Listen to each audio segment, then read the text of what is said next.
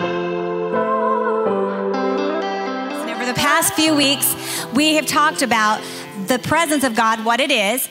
We talked about why we need the presence of God. And today we're going to talk a little bit about how to get into the presence of God. You ready for it? The word presence described uh, in the dictionary is the fact or condition of being present, being in attendance, a person or thing that exists or is present in a place but is not seen. So we bought an old house when we moved uh, here to Lima, and there is a presence in that old historical home for sure. I'm not talking about ghosts or anything like that. I'm talking about the presence of these really old, nasty floors that need replaced desperately. So when we moved into our house, uh, we realized that we were going to have to do something about it pretty quick. And of course, do what you do. We called, uh, we got an estimate to see how much it would cost us. And we, we figured out real quick we were to have to wait a little bit. We we're to have to save some pennies and nickels and dollars and wait to have it done. So, so a year passed, and last year we thought, okay, we've saved saved quite a bit of money, and let's see if we're able to do it now. And they came back out, checked, checked to see where we were at, and we couldn't do it again. And we had to save a little bit more. And finally, you guys, finally, this week, this week we met with a guy and, and we're going to be able to do our floors and it's so exciting we're super super happy but he had some news for us when he came he had some news for us and he said this here's the deal guys the cost of wood. Yeah, everybody's shaking their head. The cost of wood is up, and the prices are high. And I thought of this little economic principle called supply and demand. but, but our guy, he has a guy. Yeah, you have a guy? All right, everybody, right now, just start laughing. Just laugh. Give me your biggest, funnest belly laugh. Ha, ha. Come on, come on, dude. Ha, ha. Okay, work with me today. You guys are a tough crowd. But our guy, he has a guy. Everybody needs a guy. My dad was a car dealer, and we had a guy for just about everything. He was a guy, he had a connection, he had a source, he had a supplier that, in fact, could supply the materials that I need to get my floors done if I was willing to pay a price, that high price, if I'm willing to pay for it. Sadly, the supplier just didn't want to drop off 1,400 square feet of material off at my house so that I could get my floors done.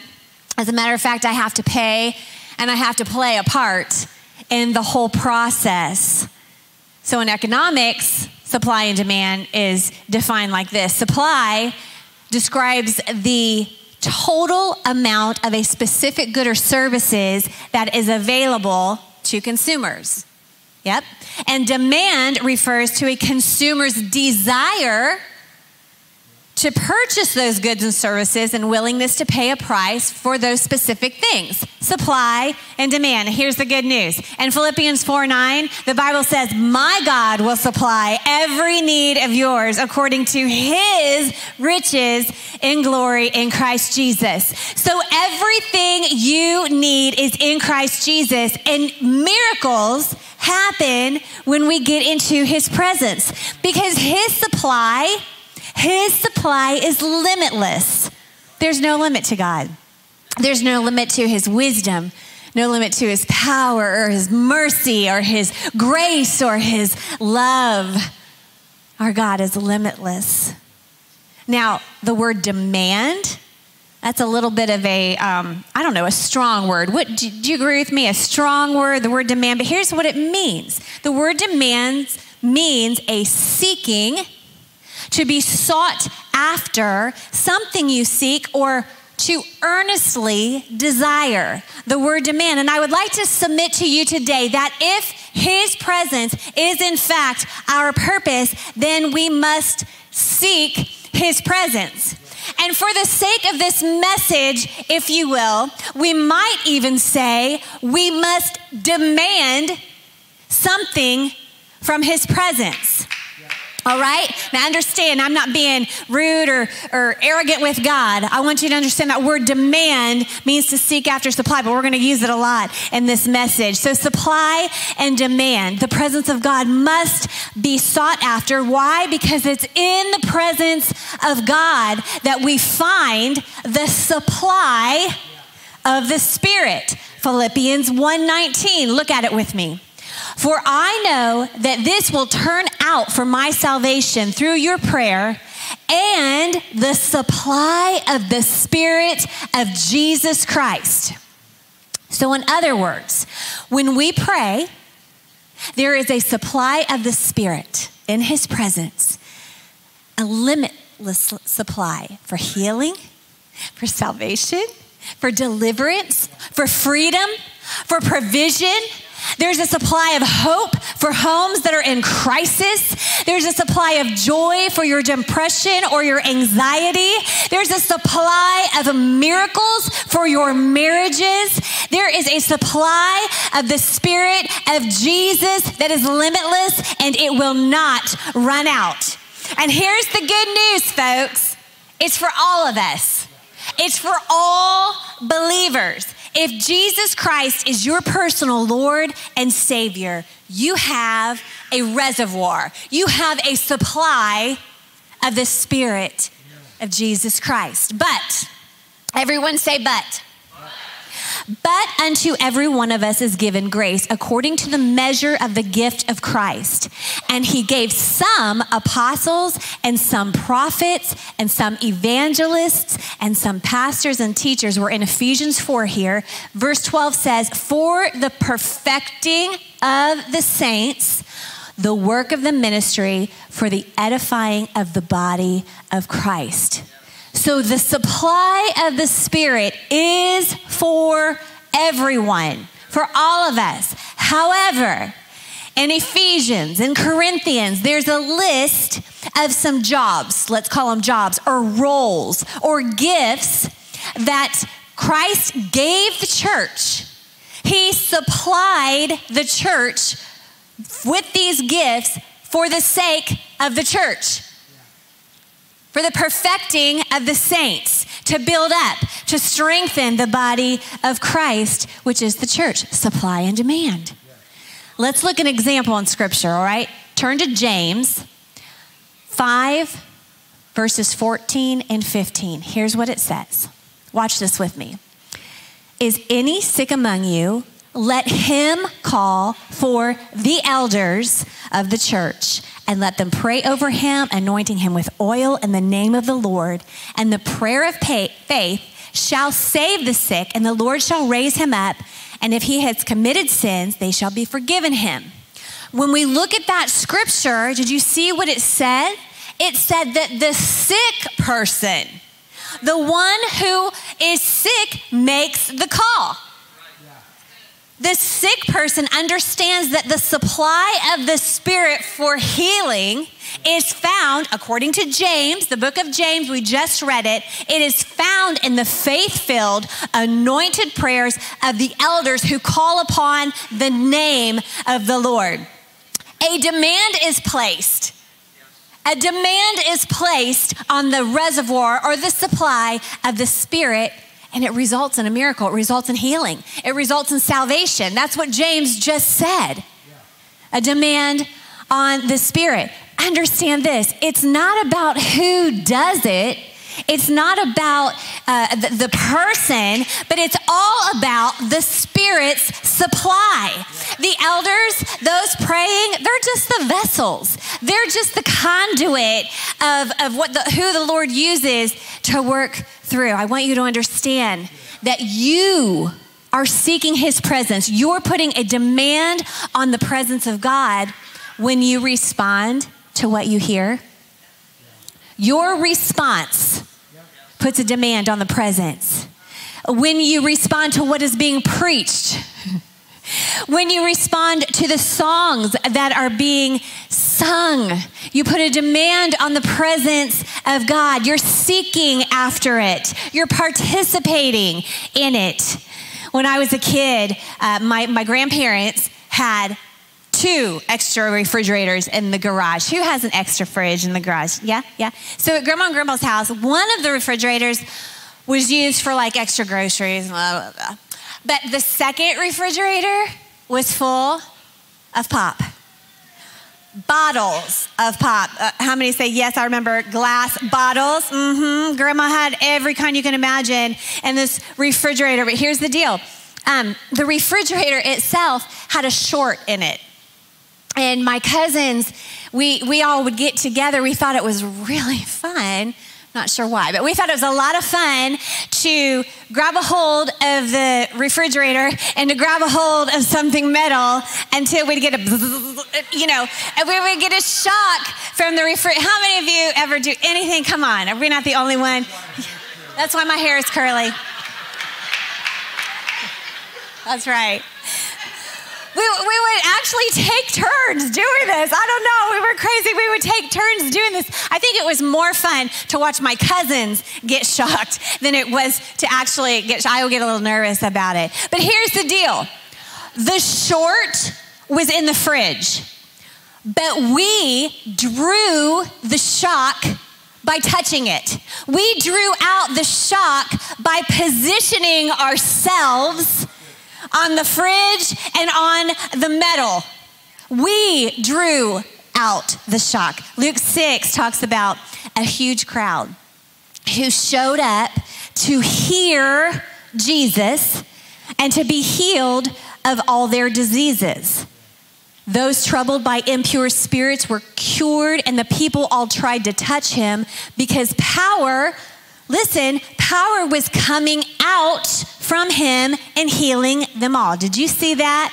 Did you see what that scripture said? Jesus, he's the supply of the Spirit, the reservoir of healing, he's the source.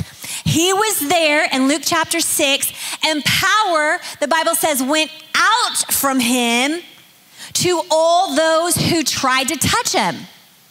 All those who tried to touch him, the Bible says they were healed. all, all of them were healed. But the power went out from the source because the people drew it out. They sought after God. They demanded something from His presence, if you will. You can draw out the presence of God. Did you know that? You can draw the presence of God by the way you worship by the attitude you have when the word is being preached. You can draw out the presence of God by the way that you respond to the altar. You know, there's something really powerful about movement.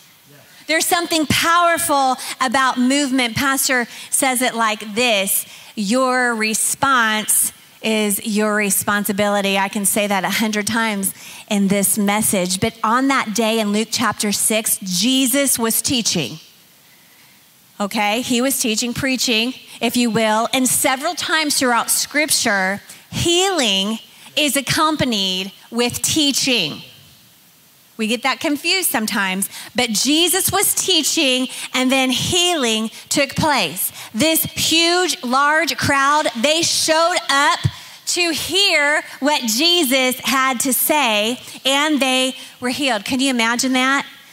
Can you just imagine getting to sit under the teaching of Jesus Christ? I have a feeling I would hope that I would come with a little bit of expectation if I was getting to hear the supplier, the reservoir, share some things. I, I wonder, I don't think he did, but I wonder if Jesus had a pulpit. You know, the Bible says he would stand in front of the crowds, kind of like church, maybe. I don't know. I don't know. I don't. He didn't need any notes. No, he didn't. We need this pulpit. You know, pulpits have transformed over the years, right? You know, used to that big sacred desk. My pastor, oh, it was huge. He had a microphone attached to it that came up. I mean, we played hide and seek. We actually hid in the pulpit because it was so big, you know, and now we've transformed to this little, I guess it doesn't matter it, it, it, doesn't matter now. Uh, but we've transformed the pulpit. The word pulpit, or, or the, an actual pulpit, um, we hear about in the book of Nehemiah. Way back in the Old Testament, it says that a large wooden platform was built for the prophet Ezra because he had a word to speak to the people. And Ezra stood in the pulpit and he read the word. The Bible says he read from early morning. So let's just say 5 or 6 a.m. Or that's early morning. He read the word until noon. So, about six hours, six or seven hours, the pastor preached. You guys a little nervous? You're hungry, aren't you? It's, it's just 1127, but for six or seven hours, Ezra preached the word. And do you know what the Bible says the people did? They did. Oh, you robbed my, you took my, that's okay. That's okay. That's all right. That's. They did. They stood. They stood. They stood. They didn't, they didn't get on their phone and start flipping on Facebook. They didn't go ahead and put their DoorDash order in so that it would be, you know, at home by the time they got back from church. You know, they didn't they, they didn't get up and go to the bathroom five or six or seven times during service. No, John, they stood. They stood for six or seven hours while the prophet read the word. And you know what else they did? The Bible says while Ezra preached, it says that the people shouted. They were excited about the word of God that was coming forth. They got to hear it, they got to listen to it, and they responded to it not only by standing, but by shouting. And to boot, when it came time to worship, the Bible says in Nehemiah that they bowed with their faces to the ground and they worshiped the Lord. I heard a pastor once say that there is power up in here when the word of God is being preached to pull people out of the pit. That's what the job of the pulpit is, is to pull people of the pit. The pit of depression, the pit of despair, the pit of fear of disease, the pit of addiction or alcohol. When the word comes forth, there is a pulling out of the pit. And I think that somebody today needs to be pulled out of the pit. You didn't come here just for fun. You didn't come here just for kicks. You came because God has a plan and a purpose for you to be here. And I can't help but wonder if part of it is to be pulled out from your pit. So many times, though, we wait, we sit back and we wait on God to do something. But really, sometimes God's waiting for us. He's waiting for us to do something. You see, that's what praise and worship is all about. So remember those apostles and preachers and teachers and you know those giftings we talk, well we have some worship leaders in our house. We have some worship leaders who understand the gifts and the callings on their lives. And so their job, what they do is they they stir the atmosphere and they might say something to you like, "Would you raise your hands with us? Would you clap? Would you respond? Would you sing a new song unto the Lord?" They're not just doing that for fun. They're not just doing it because they saw that's what Bethel did or that's what Elevation Worship did. They're doing it because they know when the people respond in worship, something happens in the atmosphere. It stirs it up. So, so moving forward, if the song says clap, what would you do? And if the song says shout, what would you do? And if the song says dance, I can't wait to see that. I just think that's so much fun. We do this little, mm, mm, you know, little Christian dance. Pastor just jumps up and down. It's great. It's great. I can't do that. I can't be jumping up and down. And when the song says raise your hands, this is the easy one. We simply raise our hands because our response, our participation actually stirs up the presence of God. And the Bible tells us that praise makes Satan flee. Psalms 18:3. I will call upon the Lord who is worthy to be praised? So shall I be saved from my enemies. If you were in church in the 80s, you might have sang it like this I will call upon the, I will, oh yeah, who is worthy to be you got it. We used to do that little echo thing back in the day. It was all kinds of all kinds of good stuff. But when we praise, an atmosphere is created. When we praise, an atmosphere is created for the Holy Spirit to work and move and for God to answer our praise. He answers our prayers through our praise. So, our praise then is a demand on the supply of the Spirit. We're seeking after We're earnestly desiring God to move.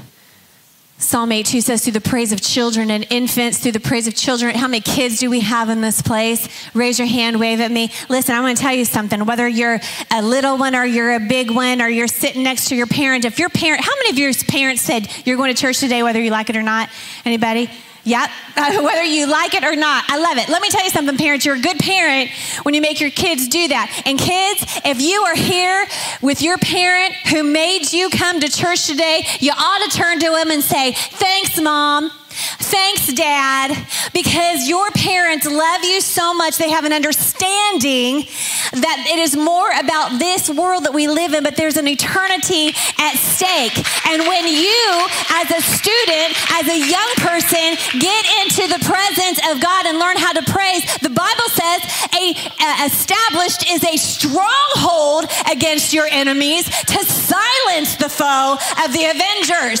So there's something even now being put into you young people. It's being established so that when you come against a foe or an avenger, you have a stronghold to stand with you. And it's the presence of God. God inhabits the praises of his people.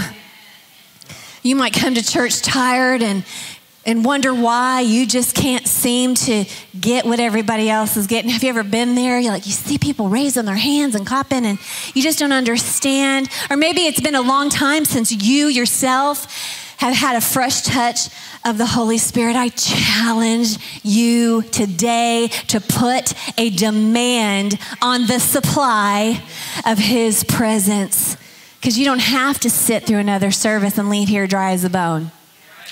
You don't have to. James 4 8 says very clearly, draw near to God. You draw near to God, and He will draw near to you. I like to think of it this way the greater the demand, the greater the supply. Now, watch this with me. Church can go to a whole nother level when people come in with great expectation. Expectation is the breeding ground for manifestation. And, and, and so, as the pastor preaches, and we expect God is going to move through His Word. Remember, Jesus was teaching and preaching, and a bunch of people got healed. If we come expecting that, you know, some of you get it. Some of you get it. John gets it. Brian gets it. Some of you guys who clap and you shout amen, you understand um, that something happens when we kind of support the pastor a little bit. They get behind him a little bit. Last week, when I was preaching, it got to this point where the scripture was coming forth and, and I was starting to feel an unction of the Holy Spirit. And I looked back, I don't see him today, but I looked back and Johnny Banks in the back row, a man who had just lost his father, a grieving man. But he came to church that day and he made a demand on the supply of the Spirit.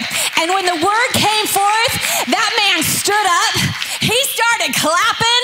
He started shouting. And I'm going to tell you something people around him started doing the same thing. And there was a shift in the atmosphere. I can testify today that people's lives were changed because of the word that came forth.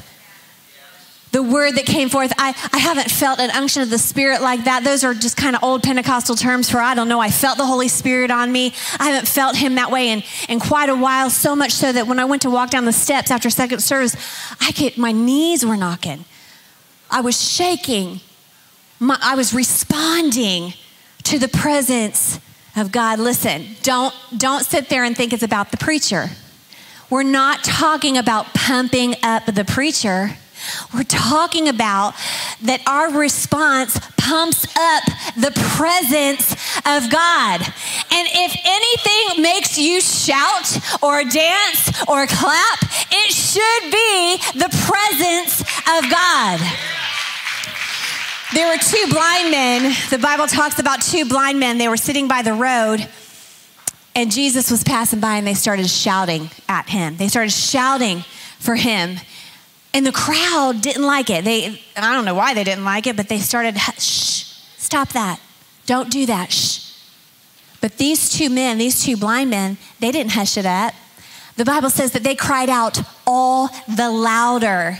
They, they started hollering so that somebody, somebody could hear them. And in Matthew 20, the Bible says that Jesus stopped.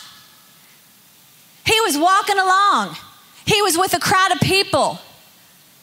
And because these two blind men started shouting for him, he stopped in his tracks and he said to them, What do you want from me? Hey, man, what do you want from me? And you know what they said? They said, Master, we want our eyes to be opened. we want to see. And the Bible says, deeply moved, Jesus touched their eyes and they had their sight back that very instant. And they joined in the procession. Jesus didn't get mad at them for interrupting his mid afternoon walk. He didn't turn his nose down at them because they were hollering at the top of their lungs. No, the Bible says he was deeply moved by their shouts, by their desire, by their earnest seeking after him. He was deeply moved. And God is moved, LFC. He is moved, online church, when we respond to his presence. He is moved by our cries, he's moved by our worship, he's moved by our praise, he's moved by our hand clapping. He is moved by our response because here's the deal. We don't just need Jesus to pass us by. We don't want him to pass us on by. We want him to stop and move in our midst, and we do want his miracles to come forth. That's what it means when we say his presence is our purpose. These two men, they weren't going to let the crowd hush them. They would just crowd lied louder and louder. And my favorite part of that is it says they joined the processional. You know, they had a victory march. They started leaping and dancing and rejoicing and shouting, and they weren't even in the church. They joined in. You see, the presence of God isn't just about what happens here, it affects what happens there. The presence of God is not just for the saints, but for us to take that presence to the sinners, not just for the righteous, but for the religious. The presence of God changes and transforms you. And when it does, I sure hope that you will join in the parade, that you'll join in the procession. Now, there's a flip side. How many of you know there's always a flip side? And in Mark chapter 6, we find Jesus in his hometown of Nazareth. Just the chapter before, Jesus was healing the sick. He was casting out demons. He was even, I don't know, raising the dead. He was doing some pretty powerful things. But in Nazareth, verse 5 says, he could not do any miracles there except lay his hands on a few sick people and heal them. Why? Why? Don't tell me it's just up to Jesus to do everything. We can't sit here and expect that it's all up to him because if he just did it to do it, then he would have done it in his hometown. That was his hometown, the ultimate connection. Listen, he was the hometown hero. He, he knew their names. He went to kindergarten with some of them. He knew what their mom served for after school snack. You know, he knew what kind of uh, flowers was always in the flower box come springtime. He was a hometown hero. But I believe that the reason Jesus, one of the reasons, didn't do many miracles was because they chose to ignore his presence. They chose to ignore his presence. And the Bible says, listen to this. This is Jesus. The Bible says he was astounded by their stubbornness. Jesus his mind. He couldn't wrap his mind around why. He was astounded by their stubbornness. You know what the Bible has to say about being stubborn or stubbornness? It says this God will give you over to it. He'll give you over to your stubbornness, to your own devices. Your stubbornness will cause you to be far from His righteousness. Your stubbornness will cause you to go backward and not forward. Hosea, we're my Hosea girls? We did Hosea in small group first semester, and you know what we learned there that Hosea compared compared the people to a stubborn heifer. You calling me fat? no. that was funny. All right, a stubborn heifer. a cow. A cow that cannot be pastured. That's what Hosea says a stubborn heifer who cannot be pastured. What happens when the cows are taken to pasture? They eat, they graze out there, they graze on the pasture. Interestingly enough, I won't go into too much detail, but there's a difference between going to the pasture and to the meadow. There are some things that are significant about, about the uh, nutrients that are provided in one place and the other. But Hosea says, like a stubborn heifer who cannot be pastured, when you're stubborn, you're not going to be able to be fed. And it doesn't matter how good the soil is, it doesn't matter if the temperature is just right or there's enough rainfall no matter how perfect the atmosphere is, you cannot be fed if you are stubborn or if you're passive. If you're stubborn or if you're passive, it will cause you to not be able to be fed. So, your hunger, your thirst, your desire, your attitude, your humility, your spirit, your seeking, your expectation, your demand on the supply of the Spirit matters. And not only matters here within the church, but it matters out there. Come on, somebody know who I'm, what I'm talking about. It matters that the presence of God is in here, but it matters all the more that the presence is out there as well. And so when we look at that, how do we get into the presence of the, of the Lord? Or how do we get in the presence of God outside the church? We need to look at the book of Acts. So grab your copy of God's word and turn to Acts chapter 16. And you're going to find in verse 16, we're going to find uh, that this is Paul's second missionary journey. They're doing incredible work for God. People are getting saved by the droves. Signs and wonders are happening right before their very eyes. And the Bible says this that as they were going down, uh, down to the place of prayer, they were going down to seek the Lord. It says that they met a demon possessed slave girl. And the Bible describes her that she was not only just demon possessed, but the devil himself gave her the power to be a fortune teller. Now let's stop right there. I'm telling you right now, sons and daughters of God. If you're looking for answers, you're looking just to have a good time or whatever, and you make your way into a fortune teller, well, there's several across the city.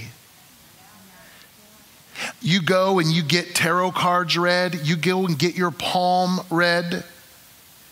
You go and you follow the horoscope, or you have someone give you a word uh, of, the, of the future and what's going to happen. Listen, you're participating with doctrines of demons and you need to repent. Listen, you need to repent of that and ask God's forgiveness and don't ever go back to that ever again because you are calling, you are putting a demand on a supply that does not come from God. And I will tell you this when that supply comes upon you, it don't want to let go of you. Come on, someone talk to me here today. So here she was, a demon possessed girl, and she had the gift of giving fortunes. Well, her owners, her slave owners, they were making mountains of money off of this girl because the devil was giving her this gift of fortune telling. Well, she happened to come across Paul and Silas one day, and she began to cry out, These men are the servants of the Most High God, and they have come to tell you how to be saved. Over and over and over again. And Paul, He's walking along. I want to meet this dude because I feel like he, he would just like, he wants to give you Jesus, but he wants to punch you in the mouth at the same time. That's my kind of guy right there. And so here he was. He's, he's preaching the good news, but yet you have this little girl. These men are from the Most High, and they're going to tell you how to be saved. Listen, God doesn't need the enemy's publicity. God doesn't need the devil to come up and say, No, these are the, the anointings at Lima First. You need to go there. And Paul was so aggravated. He was so annoyed. He had enough of that nonsense. And what did he do? He turned around and looked at that little thing. And he said, he cast that demon out of that little girl. Now, most people with common sense, they would be rejoicing because this little girl has been set free from demonic activity. Come on, someone talk to me today. They would be excited, but the city got into an uproar. Her, the slave masters were in an uproar. Why? Not that, not, not that, you, that, that they did something to this little girl. They were mad because they weren't going to make any more money. You see, it's all fun and games till you affect economics. So, guess what happened? Got mad. And in Acts chapter 16, verse 23, here were Paul and Silas doing the work of the Most High. They were doing the work of the Lord. They were doing the work of the evangelists and prophets and apostles. They were doing God's work. But now, the Bible says they were severely beaten and they were thrown into prison. And the jailer was ordered to make sure they didn't escape. Why did he do that? Because the apostles had a way of escaping from prison because God would come in and lead them out. God did something supernatural in those prisons. So he said, You make sure that they don't get out of this place. So what did he so the jailer put them in the inner dungeon and he clamped their feet and put them in stocks. Can you even fathom that? You're doing God's work. You're preaching the good news. People are getting saved, delivered, and healed. And it makes someone mad, and you find yourself in prison. Mark my words, it's coming again. It's coming again. Christianity is being censored right now. There are things that are happening all over the world right now, but because they don't want you to know, there's Christians that are being martyred all across the world right now, but you don't hear about it because they censor it. Guys, they're coming for the church. But I will tell you, as dark as it's going to get, that's where the brighter the light is going to shine. We don't have to fear man. Come on, look at your neighbor and say, You don't need to fear man. So listen, look at this. Acts chapter 16. They're in the dungeon. It's dark, it's stinky. Sounds of death and moaning and groaning were all over the place. And it says this around midnight. We always had this saying nothing good ever happens after midnight. You need to be in bed, sleeping, snoozing with your little mask on, you know, cucumbers on your face. You need to, right? Snoring, there, nothing ever good. How many can testify to that? Can I get a witness? Nothing ever, and there's nothing good on TV either. So just don't, turn it all off and go to sleep. But around midnight, Paul and Silas, they were doing something. They were praying and singing hymns to God, and all the other prisoners, what are they doing? They're listening. They're listening. It's like it's like the, the, very first radio that's going on. They had a little concert right there in the middle of it. What were they doing? They were praying. Well, when we pray, what is praying? Matthew talks about it. Matthew 6:33 that we are to seek first the kingdom of God and his righteousness and all of these other things will be added. We go after God. We we we, we pray. We call upon the name of the Lord. James chapter 5 verse 16b it says this, the prayer of a righteous person is powerful and effective. Jesus said this in Matthew, Matthew chapter 6. But when you pray, Go into your room and close the door and pray to your Father who is unseen. Then your Father who sees what is done in secret, he's going to reward you. But the key is the, that one of the first two words when you pray. But if we're not careful, we're going to fall into this religious Christianity that says all I got to do is go to church. No, we are to seek first. We are to pray. Jesus said it, but when you pray, it's not an option. Friends, we've got to call upon the name of the Lord Most High. We've got to call upon Him and make our petitions known to Him. Why would God answer if we don't ask? But what are they doing? They're praying. And what else were they doing? They were singing. They were singing. Colossians chapter 3, 16 and 17 says this Let the message of Christ dwell among you richly as you teach and admonish, admonish one another with all wisdom through psalms and hymns and songs in the Spirit, singing to God with grateful hearts. And whatever you do, whether in word or deed, do it all in the name of the Lord Jesus, giving thanks to God the Father through him singing, worshiping. What can wash away my sin? Nothing but the blood of Jesus. Getting in your car, it doesn't matter if you sound good or not. Make a joyful noise unto the Lord. Make a joyful noise. Psalm 100, verse 1 through 5. Shout to joy for joy to the Lord, all the earth. Worship the Lord with gladness. Come before him with joyful songs. Know that the Lord is God. It is he who made us. He made us. We are his people, the sheep of his pasture. And then it says this enter into his gates with thanksgiving and to his courts with praise. Give thanks to him and praise his name name. They were, they were praying. If you were in a dungeon, shackled for doing, you'd be praying. Maybe. We may be singing. But in Acts chapter 16, verse 26, it says something very interesting. It says, suddenly. Do you know what a suddenly is?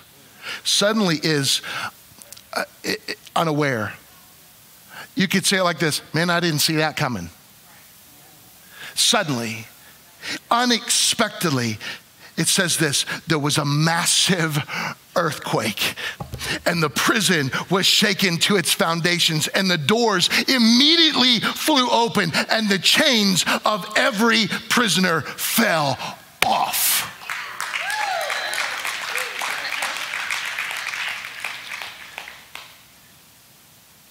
Can you begin to see it? You're doing great things for God, but the next thing you know, you found yourself in a place that you never thought you would be. It's dark, it stinks. More than likely, after they have beaten you, they've stripped you down naked and you're freezing to death. But in the midst of that dungeon, all of a sudden, out of the depths of your heart, you began to say, Surely the presence of the Lord is in this place. I can feel his mighty power and his grace. I can hear the brush of angels' wings. I see glory on each face. Surely the presence of the Lord is in this place, and I exalt thee. Can you sing it if you know it? I exalt thee. Come on, from the front to the back, sing. I. Oh, I love it. Oh Lord, in the middle of the darkness, sing, I exalt thee. I exalt thee. I exalt thee. I exalt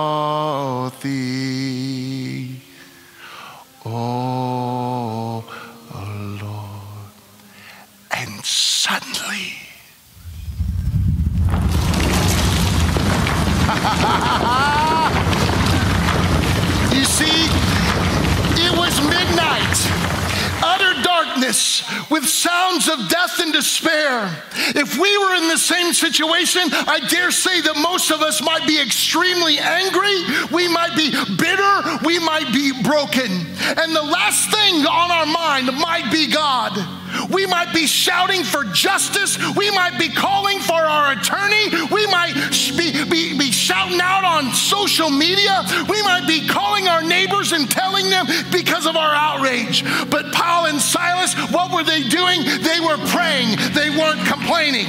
They were praising. They weren't griping. They were grateful. They weren't hateful. Their physical conditions weren't comfortable. They were broken, abandoned, and they were vulnerable.